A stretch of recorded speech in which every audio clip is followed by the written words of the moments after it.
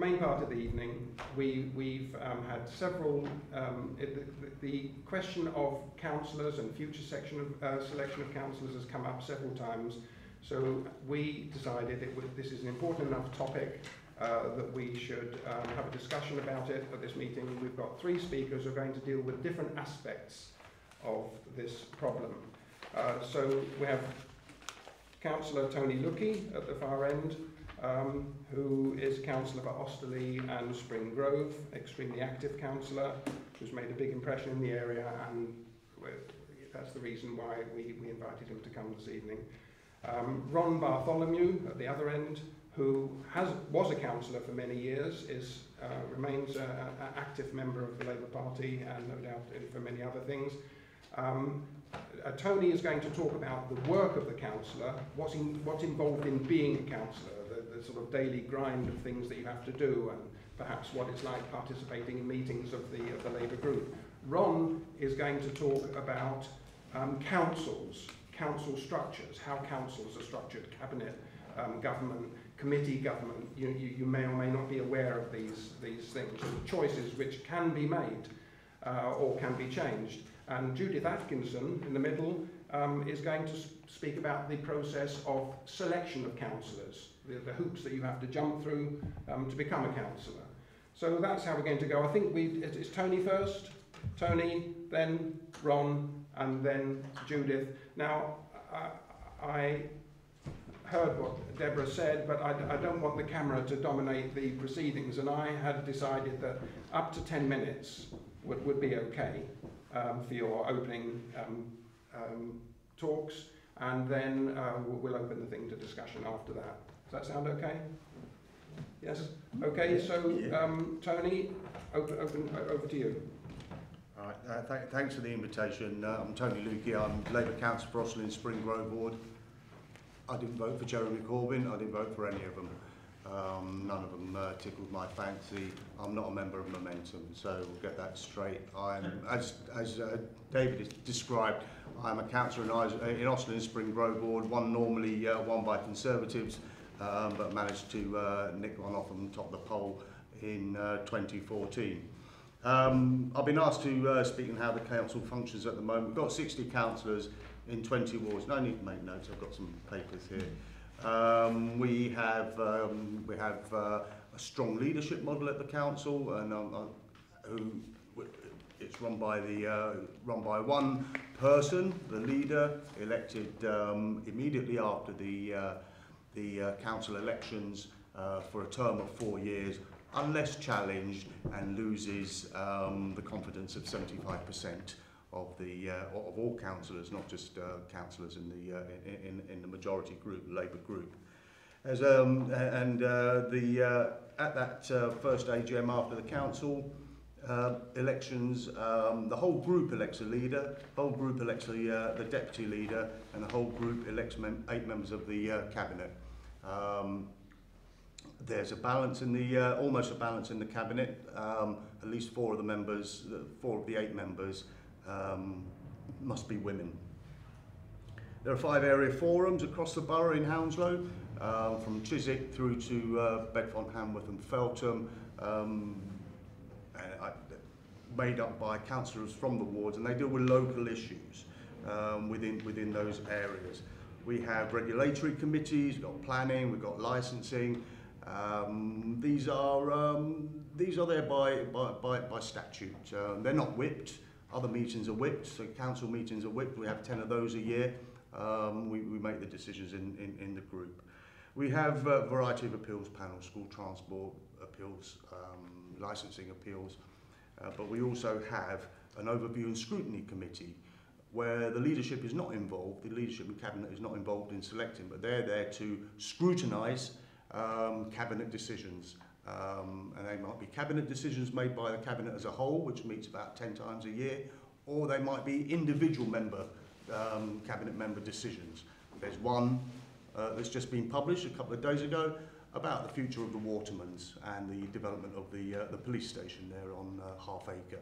Uh, if anyone's interested, look at the council website. Um, leader allocates cabinet portfolios. We've just had our annual general meeting. Uh, finished at quarter to one last night or this morning, um, where, um, where, where, uh, where, where people um, kind of jostled for position in, particularly you know, in, in, in, the, in the planning, in the yogi and scrutiny. We had, a, had one the week before where we, uh, where we elected chairs of area forums and committees. Um, often there's a clamour at these uh, annual general meetings because um, some people are, um, want to uh, want to use their talents at the council. Um, some people feel that there's uh, that, that you know, it's worth going for the uh, the extra special responsibility allowance uh, that uh, a position brings. But all councillors receive a basic allowance of nine thousand two hundred and seventy six pounds a year. I've got I've got a, that's again that's available on the website. Let, let's just leave all that. That's easy to find out from the website if you like. But um, what's it entail being a councillor? Uh, what what does it involve on a day-to-day basis? People ask me, you know, oh, you know, how, how many hours you work? Well, I, I tend to say it's 24/7. Um, it can be 24/7. You sometimes get telephone calls at 11 o'clock at night. You get them on Sunday nights. Um, if people have a problem um, that they can't resolve or they don't know how to resolve immediately. Um, but what it, what it, what it involves on a day-to-day basis, preparing for and attending council and uh, Labour group meetings. Um, they tend to take place at uh, Hounslow Civic Centre or unless they're area forums. And Brentford one takes place at, uh, at, the, church, the Free Church on, uh, on, on Half Acre there on Boston Manor Road. Uh, respond to council, uh, respond to constituents' inquiries in person, on the telephone, via email, via social media. Uh, when I was, I was a councillor before in the in, in the 1990s, and uh, yeah, Judith Atkinson kindly um, brought a copy of the ni- class of 1990. Um, pass it round? no, no, don't pass it round. This is my, this is this is this is my slot. You do it. You do it in yours, all right? Uh, don't don't don't um, don't don't crowd my slot. Um, but also, it's about being proactive. I think anyway. That's the way I do it. It's about being proactive within the uh, the community that you represent, within the ward you represent. So sometimes you notice things and you report them. The easiest way to do it to report them is, um, you know, I tend to, I've, I've been turned on to Twitter lately. Um, so you take a photograph, you tweet it to Hounslow Council, please get rid of this tip. Sometimes, and it's been good, you know, after many years of uh, trying to get Network Rail down to uh, sort the bridge out, uh, two bridges out uh, by Isleworth Station, um, normal letters, normal emails, normal using council officers' services to, um, to achieve that, um, very slow. Um, but when you um, tweet at Network Rail, embarrass them about their um, the graffiti, the long-term graffiti on the uh, on the bridges there, the antisocial behaviour, and drinking in the car park, you get a you, you get you get a call, you get an email, the uh, you know within a couple of days, and you know, as a result of that, you know, since rail privatisation, um, 20 odd years, um, it's the first time 20, 20 odd, 24 years this year. Um, we um, we uh, we got someone down from a couple of people from Network Rail, and we're working harder on the station. Uh, we liaise with um, we we we, we liaise with local public services. Problems down at Thornbury Park. I don't know if you know it, but that's off London Road. Um, badgering of the police. Uh, where we meet them at various uh, various forums. I met the uh, borough commander at um, at the Spring Grove Residents Association. Again, you work with residents associations, you go to their meetings. But I met at the Residents Association um, and talked about it. Goes, oh, well, why don't we? You know, there's drug dealing problems there. There's other antisocial behaviour there. So, well, why don't we? Uh, why don't we exercise our police dogs on Thornbury Park? Um, that that'll uh, a, we can they can sniff out drugs B that'll uh, show we've got a presence. Whatever you feel about the police, it's I think it's quite uh, it was quite an innovative uh, solution for our uh, for our um, our problems there. Other things I've done uh, was arrange ward meetings. Fortunately, West Thames College is in my ward.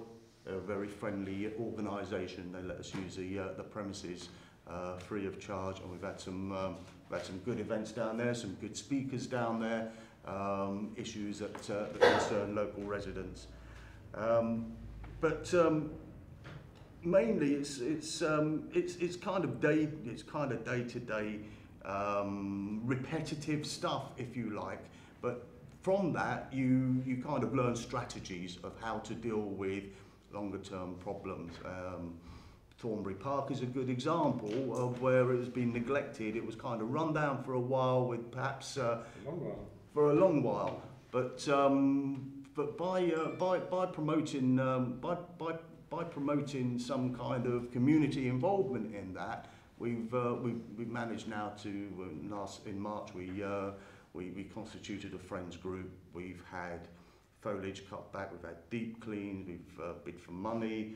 Um, we've got a new outdoor gym in there, for example. So you know we've we've had rough sleepers removed, but removed in a in a kind way. Brought brought um, brought uh, Mungos down, some Mungos down to uh, to work with these folk um, to um, to guide them in a different direction, uh, because yes, it's important to uh, you've got to have somewhere to sleep, but at the same time, when people are using a public uh, public space, uh, they do need to feel safe as well. Uh, we remove graffiti through through that, that, that kind of pressure. Um, I've got a website, um, kindly set up by um, for me for by, by David Pavett. Um, I, I've, I've learned how to maintain that. Got Twitter, got a blooming Facebook page. Um, where my Twitter is, i i- is tied to. The most important thing, though, I think, of being a councillor and the work you, that you do as a councillor is promoting the Labour Party. I don't know how many of you are members of the Labour Party. I think most of you are members of the Labour Party. But it is about promoting the Labour Party and showing that by having Labour representation in a traditional Conservative ward, they uh, people turn. And David will, David will agree. Some of the work that I've done with dyed in the wall Conservatives. Um, I even had one say, "Yeah, I'm, I voted." Fella on Wood Lane in a in a in a more than two million pound house. I voted. Uh, he said, "I'm going to vote Labour this time round for the GLA."